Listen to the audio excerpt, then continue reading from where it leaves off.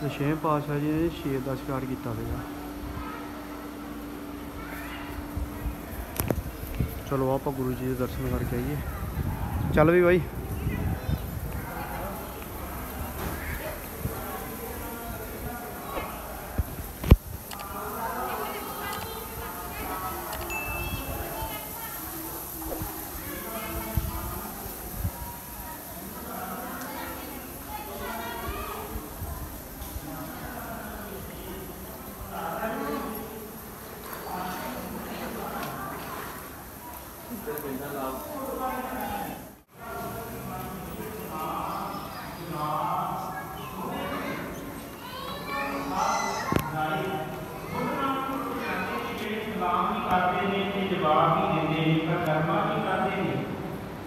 ਕਿ ਗੁਰੂ ਸਾਹਿਬ ਜਨ ਨੂੰ ਤੇਰਾ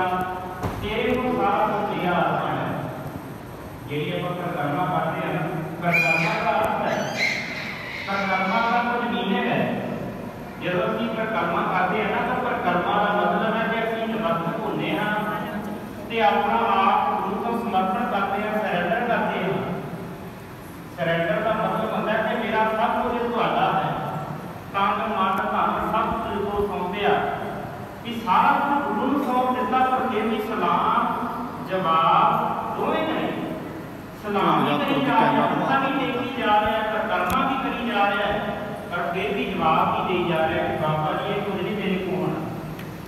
ਜੋ ਕੁਝ ਤੁਸੀਂ ਦੱਸ ਰਹੇ ਹੋ ਇਹ ਮੇਰੇ ਕੋਲੋਂ ਨਹੀਂ ਹੋਣਾ ਇਹ ਮੇਰੇ ਵੱਲੋਂ ਬਾਹਰ ਹੈ ਘਰਾਂ ਦੇ ਅੰਦਰ ਸ਼ਰਾਬ ਪ੍ਰੋਗਰਾਮ ਕਰਦੇ ਨੇ ਵਿਆਹਾਂ ਦੇ ਅੰਦਰ ਗੁਰੂ ਦੇ ਕੋਲੋਂ ਇੱਕ ਵਾਰੀ ਆਗਿਆ ਕਿ ਬਾਬਾ ਜੀ ਸਾਡਾ ਕੰਮ ਜਿਹੜਾ ਕਾਰਜ ਹੈ ਨੇਪਰੇ ਚਾੜ ਦੇ ਕੋਈ ਵਿਘਨ ਨਾ ਪਵੇ ਤੇ ਜਦੋਂ ਕੰਮ ਨੇਪਰੇ ਚੜ ਜਾਂਦਾ ਹੈ ਫਿਰ ਜਵਾਬ ਵੀ ਦੇ ਜਾਂਦੇ ਨੇ ਬਾਬਾ ਜੀ ਦਾ ਦੱਸਿਆ ਉਦਾਹਰਨ ਦਿੱਤੀ ਹੈ ਕਿ ਜਿਹੜੇ ਪੱਤੇ ਜਿਹੜੇ ਨੇ ਦਰਖਤ ਨਾਲੋਂ ਟੁੱਟ ਜਾਂਦੇ ਨੇ ਤਾਂ ਉਹ ਦਰਖਤੀ ਦਾ ਸ਼ਿੰਗਾਰ ਬਣ ਕੇ ਰਹਿ ਜਾਂਦੇ ਨੇ ਹਨੇਰੀ ਝੁੱਲਦੀ ਹੈ ਤਾਂ ਕਦੀ ਕਿਸੇ ਨੂੰ ਬੁਰੇ ਲੱਗ ਜਾਂਦਾ ਹੈ ਹਨੇਰੀ ਝੁੱਲਦੀ ਹੈ ਤੇ ਕਦੀ ਕਿਸੇ ਨੂੰ ਬੁਰੇ ਲੱਗ ਜਾਂਦਾ ਹੈ ਇਹ ਹਾਲਾਤ ਬਣ ਜਾਂਦੇ ਨੇ ਜਿਹੜਾ ਬੰਦਾ ਆਪਣੇ ਗੁਰੂ ਦੀ ਸਿੱਖਿਆ ਨਾਲ ਟੁੱਟ ਜਾਂਦਾ ਹੈ, ਜਿਹੜਾ ਗੁਰੂਆਂ ਨਾਲ ਟੁੱਟ ਜਾਂਦਾ ਹੈ, ਗੁਰੂਆਂ ਦੀ ਸਿੱਖਿਆ ਨਾਲ ਟੁੱਟ ਜਾਂਦਾ ਹੈ, ਪੱਤਰ ਪੁਰਜੇਣ ਝੜੀਆਂ ਨਹਿ ਗਏ ਨੂੰ ਤੇਰ ਸੰਗਤਾ ਉਹ ਕਦੇ ਵੀ ਸਿਰ ਜੜੇ ਨਹੀਂ ਜਾਂਦੇ, ਕਦੇ ਵੀ ਉਹ ਦਰਦ ਨਾਲ ਵਾਪਸ ਨਹੀਂ ਲੱਗਦੇ ਇੱਕ ਉਦਾਹਰਨ ਹੈ ਇੱਥੇ ਇਹ ਨਾ ਭੁਲੇਖਾ ਖਾ ਜਾਣਾ ਕਿ ਅਸੀਂ ਟੁੱਟ ਗਏ ਜੁੜਾਂਗੇ ਨਹੀਂ। ਇੱਥੇ ਤਾਂ ਟੁੱਟੀਆਂ ਨੂੰ ਕੱਢਿਆ ਜਾਂਦਾ ਹੈ। ਪਰ ਉਦਾਹਰਨਾਂ ਇਹਨਾਂ ਨੇ ਇਹ ਉਦਾਹਰਨ ਦਿੱਤੀ ਹੈ ਕਿ ਜਿਵੇਂ ਪੱਤੇ ਜਿਹੜੇ ਨੇ ਦਰਖਤ ਨਾਲ ਟੁੱਟ ਜਾਂਦੇ ਨੇ ਮੁਰਝਾ ਜਾਂਦੇ ਨੇ ਫਿਰ ਉਹ ਦਰਖਤੀ ਦਾ ਸ਼ਿੰਗਾਰ ਬਣ ਜਾਂਦੇ ਨੇ, ਗਰਦੇ ਬਣ ਜਾਂਦੇ ਨੇ, ਪਾਪ ਦਾ ਪ੍ਰਗਟ ਬਣ ਜਾਂਦੇ ਨੇ, ਤੇ ਇਹ ਨਾ ਹੋ ਜਾਵੇ ਸਾਡੇ ਹਾਲਾਤ ਇਹ ਨਾ ਬਣ ਜਾਣ ਕਿ ਸਾਡਾ ਵੀ ਅਜਿਹਾ ਜੀਵਨ ਬਣ ਜਾਵੇ ਜਿਵੇਂ ਕੂੜੇ ਕਰਕਟ ਦੇ ਪੱਤੇ ਨੇ। ਇਵੇਂ ਦਾ ਸਾਡਾ ਜੀਵਨ ਨਾ ਹੋਵੇ ਕਦੀ ਕਿਸੇ ਥਾਂ ਤੇ ਨਾ ਕਰੀ ਕਦੀ ਕਿਸੇ ਥਾਂ ਤੇ ਦੂਸਰਾ ਵਾਲਾ ਹੈ। ਸੋ ਗਾਇਸ ਤੁਸੀਂ ਇਤਿਹਾਸ ਨੂੰ ਪੜ੍ਹ ਸਕਦੇ ਹੋ, ਵੀਡੀਓ ਨੂੰ ਪਾਜ਼ ਕਰ ਲਿਓ, ਤੇ ਤੁਸੀਂ ਇਤਿਹਾਸ ਬਾਰੇ ਚੰਗੀ ਤਰ੍ਹਾਂ ਪੜ੍ਹ ਸਕਦੇ ਹੋ। ਬਾਕੀ ਮੈਂ ਵੀ ਤੁਹਾਨੂੰ ਇਤਿਹਾਸ ਦਾ ਜਿੰਨਾ ਹੋ ਸਕਿਆ ਮੈਂ ਤੁਹਾਨੂੰ ਦੱਸੂਗਾ, ਬਾਕੀ ਤੁਸੀਂ ਇਸ ਪੋਸਟਰ ਰਾਹੀਂ ਵੀ ਪੜ੍ਹ ਸਕਦੇ ਹੋ, ਦੇਖ ਲਿਓ ਹੈ। ਸੋ ਗਾਇਸ ਆਪਾਂ ਥੋੜਾ ਇਤਿਹਾਸ ਨਾ ਆਪਣੇ ਬ੍ਰਦਰ ਗੁਰਜੀਤ ਸਿੰਘ ਕੋਲੋਂ ਪੁੱਛਾਂਗੇ ਤੇ ਆਪਾਂ ਬਾਈ ਹੁਣਾਂ ਕੋਲ ਚੱਲਦੇ ਹਾਂ, ਉਹ ਚੱਲੀਏ।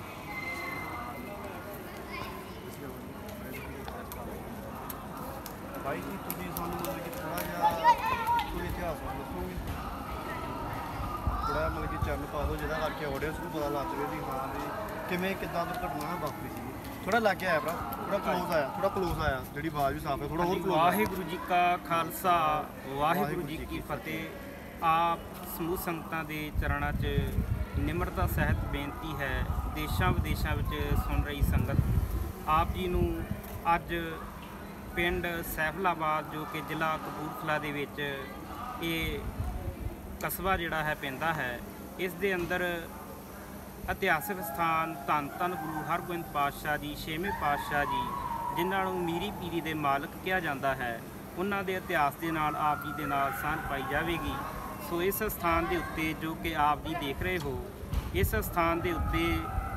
ਗੁਰੂ ਗੋ, ਹਰਗੋਬਿੰਦ ਪਾਤਸ਼ਾਹ ਜੀ ਦੋ ਵਾਰ ਇਸ ਚਰਨ, ਇਸ ਸਥਾਨ ਤੇ ਆਏ ਨੇ, ਚਰਨ ਪਰਸਨਾ ਕੀਤੇ ਨੇ ਸੰਗਤ ਨੇ। ਇਸ ਸਥਾਨ ਦੇ ਉੱਤੇ ਆਣ ਕਰਕੇ ਪਹਿਲੀ ਵਾਰੀ ਜਦੋਂ ਆਏ ਨੇ ਗਵਾਲੀਅਰ ਦੇ ਕਿਲੇ ਤੋਂ ਰਿਹਾ ਹੋ ਕਰਕੇ ਇਸ ਸਥਾਨ ਤੇ ਗੁਰੂ ਪਾਤਸ਼ਾਹ ਜੀ ਨੇ ਆਰਾਮ ਕੀਤਾ ਅਤੇ ਇਸ਼ਨਾਨ ਕੀਤਾ। ਇਸ ਸਾਈਡ ਦੇ ਉੱਤੇ ਤਲਾਬ ਹੈ, ਜਿਸ ਦੇ ਅੰਦਰ ਪਵਿੱਤਰ ਜਲ ਜਿਸ ਨੂੰ ਕਹਿ ਲਈਏ, ਉਸ ਥਾਂ ਦੇ ਉੱਤੇ ਉਹਨਾਂ ਨੇ ਪਵਿੱਤਰ ਜਲ ਦੇ ਨਾਲ ਇਸ਼ਨਾਨ ਕੀਤਾ ਹੈ। ਉਪਰੰਤ ਉਹਨਾਂ ਦੇ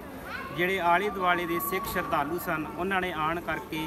ਗੁਰੂ ਪਾਤਸ਼ਾਹ ਜੀ ਪਾਸ ਬੇਨਤੀ ਕੀਤੀ ਕਿ ਗੁਰੂ ਪਾਤਸ਼ਾਹ ਜੀਓ ਇਸ ਸਥਾਨ ਦੇ ਆਲੇ ਦੁਆਲੇ ਜੰਗਲ ਏਰੀਆ ਹੈ, ਜਿਸ ਦੇ ਅੰਦਰ ਸ਼ੇਰ ਤੇ ਸ਼ੇਰਨੀ ਰਹਿੰਦੇ ਨੇ, ਜਿਸ ਦਾ ਆਪ ਜੀ ਉਧਾਰ ਕਰ ਕਰਕੇ ਇਸ ਪਿੰਡ ਨੂੰ ਅਤੇ ਇਸ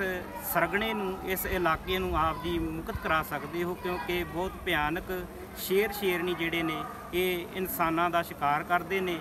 ਤੇ ਉਸ ਦੇ ਲਈ ਆਪ ਜੀ ਦੇ ਅੱਗੇ ਬੇਨਤੀ ਕਰਦੇ ਹਾਂ। ਇਹ ਸਾਰੀ ਹੀ ਬੇਨਤੀ ਜਿਹੜੀ ਹੈ ਆਲੇ ਦੁਆਲੇ ਦੇ ਪਿੰਡਾਂ ਨੇ ਆਣ ਕਰਕੇ ਗੁਰੂ ਹਰਗੋਬਿੰਦ ਪਾਤਸ਼ਾਹ ਜੀ ਦੇ ਕੋਲ ਕੀਤੀ, ਜਿਸ ਦੇ ਲਈ 1670 ਬਿਕਰਮੀ ਰਾਤ ਨੂੰ ਇਸ ਸਥਾਨ ਦੇ ਉੱਤੇ ਗੁਰੂ ਪਾਤਸ਼ਾਹ ਜੀ ਨੇ ਆਰਾਮ ਕੀਤਾ ਹੈ। ਉਪਰੰਤ ਇਸ ਪਿੰਡ ਦੇ ਅੰਦਰ, ਜੋ ਕਿ ਇਸ ਇਲਾਕੇ ਦੇ ਅੰਦਰ ਹੀ ਖੇੜਾ ਬੇਟ ਪਿੰਡ ਹੈ, ਜਿਸ ਦੇ ਵਿੱਚੋਂ ਭਾਈ ਸ਼ੰਭੂ ਜੀ ਆਣ ਕਰਕੇ ਗੁਰੂ ਪਾਤਸ਼ਾਹ ਜੀ ਨੂੰ ਬੇਨਤੀ ਕਰਦੇ ਨੇ, ਜੋ ਕਿ ਇਹ ਬੇਨਤੀ ਨੂੰ ਗੁਰੂ ਪਾਤਸ਼ਾਹ ਜੀ ਨੇ ਕਬੂਲਿਆ ਅਤੇ ਸ਼ੇਰ ਤੇ ਸ਼ੇਰਣੀ ਦਾ ਸ਼ਿਕਾਰ ਕਰ ਕਰਕੇ ਉਧਾਰ ਕੀਤਾ ਹੈ। ਤੇ ਆਲੇ ਦੁਆਲੇ ਦੇ ਇਸ ਇਲਾਕੇ ਨੂੰ ਜਿਹੜਾ ਸੁੱਖ ਦਾ ਸਾਹ ਆਇਆ ਅਤੇ ਇਸ ਸਥਾਨ ਦੇ ਉੱਤੇ ਆਣ ਕਰਕੇ ਹਰ ਕੋਈ ਆਣ ਕਰਕੇ ਨਮਸਤਕ ਹੁੰਦਾ ਹੈ ਅਤੇ ਗੁਰੂ ਪਾਤਸ਼ਾਹ ਜੀ ਦੀ ਸ਼ੋਭਾ ਕਰਦਾ ਹੈ, ਜਸ ਗਾਇਨ ਕਰਦਾ ਹੈ। ਇਸ ਸਥਾਨ ਦੇ ਉੱਤੇ ਜਿਹੜਾ ਵੀ ਆਉਂਦਾ ਹੈ, ਸਭ ਦੀਆਂ ਹੀ ਅਰਦਾਸਾਂ ਜਿਹੜੀਆਂ ਨੇ, ਉਹ ਸੰਪੂਰਨ ਹੁੰਦੀਆਂ ਨੇ। ਗੁਰੂ ਪਾਤਸ਼ਾਹ ਜੀ ਨੇ ਇਸ ਸਥਾਨ ਨੂੰ ਵਰ ਦਿੱਤੇ ਸਨ ਕਿ ਜਿਹੜਾ ਵੀ ਇਸ ਸਥਾਨ ਦੇ ਉੱਤੇ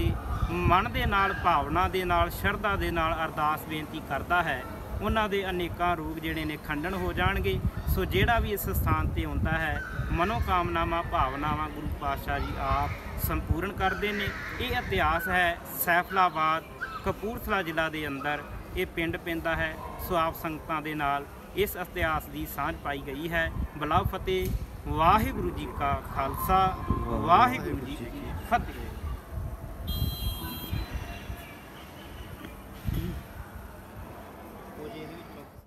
ਸੋ ਗਾਇਜ਼ ਹੁਣ ਫਾਈਨਲੀ ਆਪਾਂ ਚੱਲੇ ਆ ਆਪਣੇ ਘਰ ਨੂੰ ਤੇ ਵੀਡੀਓ ਨੂੰ ਵੱਧ ਤੋਂ ਵੱਧ ਲਾਈਕ ਕਰਿਓ ਸ਼ੇਅਰ ਕਰਿਓ ਅਤੇ ਕਮੈਂਟ ਕਰਕੇ ਦੱਸੋ ਤੁਹਾਨੂੰ ਵੀਡੀਓ ਕਿੱਦਾਂ ਦੀ ਲੱਗੀ